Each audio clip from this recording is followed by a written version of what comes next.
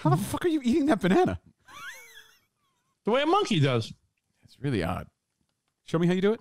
All right. It's really gross. Like who wants a You mushy the banana. banana? The banana's whole, right? You you go and you pull it, and it makes two halves, and you just push it up like a push pop. Yeah, but who wants mushy banana? Like you and and, and your infant toddler son Ben. It's a normal way. No, it's not. So where did you see this? A monkey at the Bronx Zoo, 1991. Everyone thinks you're insane.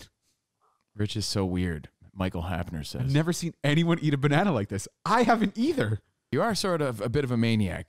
For those of you not on What the are you Patreon, drinking out of? yeah. What the fuck is happening? For those, and by the way, he said he came from the gym. Can you imagine what the people at the gym think when they see this dude with his little sippy cup? What's in that cup? Muscle milk? No, water. I just juice. needed a cup of the lid. That's Rich's go-go juice.